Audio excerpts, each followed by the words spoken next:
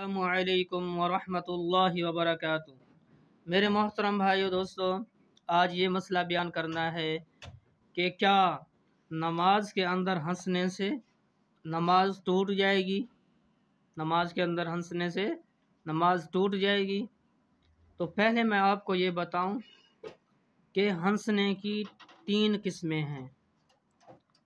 पहला है कह का कह का लगाना। ज़ोर से हंसना, इतनी आवाज़ से हंसना कि ख़ुद भी उसकी आवाज़ सुन लें और जो करीब साथी जमाती खड़े हुए हैं, वो भी उसकी आवाज़ सुन लें। वो भी उसकी आवाज़ सुन लें, ये कहका है। और इससे क्या होगा? नमाज़ भी टूट जाएगी और वज़ू भी टूट जाएगा। दूसरे नंबर के ऊपर जाहिक जाहिक जिस को खुद सुन सके, यानी कि इतना थोड़ा सा हंसा, खुद उस हंसने को सुन लिया दूसरे लोग ना सुन सकें। ये नाके से वज़ू नहीं, यानी इससे वज़ू तो नहीं टूटेगा, लेकिन नमाज़ जो है वो बातिल हो जाएगी, नमाज़ टूट जाएगी। इतना हंसा खुद सुना और साथ वाले साथियों ने नहीं सुना है तो नमाज़ टूट जाएगी, वज़ू नहीं टूटेगा।